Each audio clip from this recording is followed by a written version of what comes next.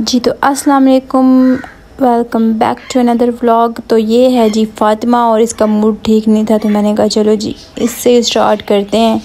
तो ये कहती है, मेरी वीडियो ना बनाओ, मेरी वीडियो ना बनाओ। मैंने कहा, नहीं, मैंने बनानी है। खैर, फिर मैं चली जी अपने किचन में और मैं बनाने लगी थी खाना। तो ये मैंने प्याज पहले से ही काट के रखा हुआ था।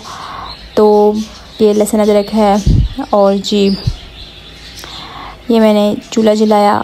और मैंने इसके ऊपर रख दी। जी तो इसके साथ साथ हमने किया है इसको लाइट ब्राउन अभी नहीं, अभी तो मैंने सिर्फ़ रखा ही है। तो आगे की रेसिपी मैं आपके साथ शेयर करती हूँ। इसके अंदर मैंने ऑयल डाल दिया था। ऑयल मैं बहुत कम यूज़ करती हूँ। और क्योंकि ऑयल मैं ख़ुद कम यूज़ कर करके ना घर वालों को भी मैं कम ही खिलाती हूँ। मैंने कहा, कम खाओ या एक तो महँगा हो गया बहुत ज़्यादा और महँगे से भी बढ़ के ये कि आपकी सेहत के लिए ज़्यादा ऑयल अच्छा नहीं है। ये आलू काट के मैंने रख लिए थे, ये दही था और ये लहसुन अदरक थी ठीक है? तो मैंने टमाटर जो हैं वो मैंने काट के ब्लेंडर में डाल दिए थे क्योंकि मैंने ब्लेंड करना था सब कुछ। तो ये जी हमारा प्याज लाइट ब्राउन हो गया है। इसके अंदर अब हमने लहसुन अदरक का पेस्ट डाल देना है। और ये जी। तो इसको भी हमने हल्का सा ब्राउन करना है। और उसके बाद ये प्याज, लहसुन अदरक जितना भी है ना ये सारा, ये हमने डाल देना है टमाटरों के अंदर ब्लेंडर में। क्योंकि इसको भी हम करेंगे ब्लेंड तो मैं अब ये जी हो गया था और मैं इसको डाल रही थी। साथ तो जी, मैं खुद ही बनाती हूँ क्योंकि कोई बनाने वाला नहीं है वीडियो। तो फिर मैंने एक साइड पर फ़ोन रख दिया और मैंने कहा कि आप देख लें कि ये सारा जितना भी था ना, वो लहसुन, अदरक और प्याज, वो सारा मैंने ब्लेंडर के अंदर डाल के इसको अच्छे तरीके से ब्लेंड कर लिया था। तो इससे ये है कि टमाटर, प्याज, वो अलग अलग तरते हुए नहीं आते, ठीक है? आपकी ग्रेवी जो है वो बहुत ही अच्छी बनती है इससे। तो जी ये देखेंगे मैंने इसको ब्लेंड किया अच्छे तरीके से और तकरीबन दो से तीन मिनट में ब्लैंड हो जाता है।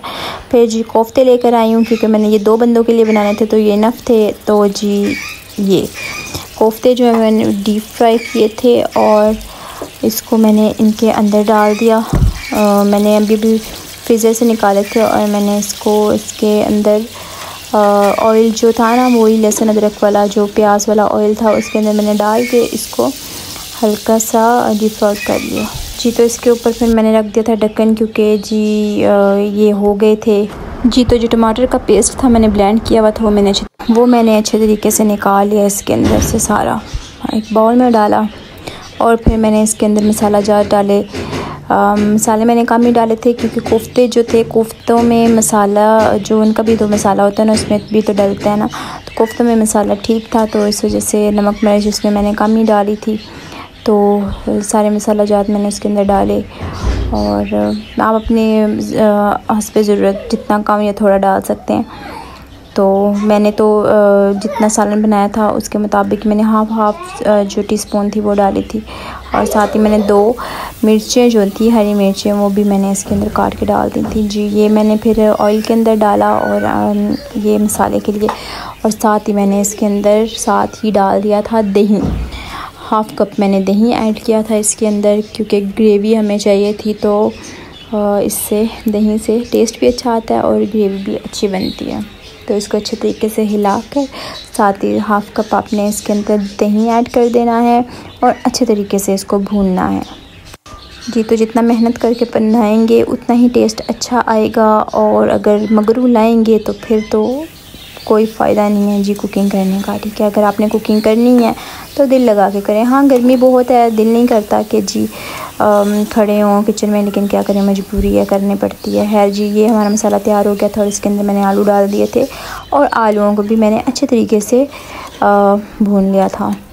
मैं इतना भूना था कि ऑयल और जो है ना, ये अलग नज़र आने लग गया। ठीक है ना? ऐसे ही।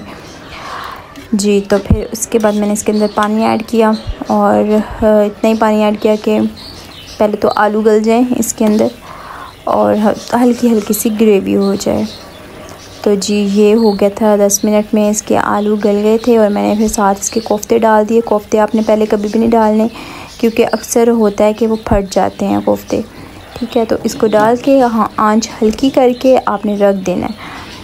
तो तकरीबन पाँच मिनट के बाद इसके अंदर चमचा हिलाना है। ये ना हो कि साथ ही साथ चमचा हिलाते रहें और फिर आपके कोफ्ते ख़राब हो जाएँ।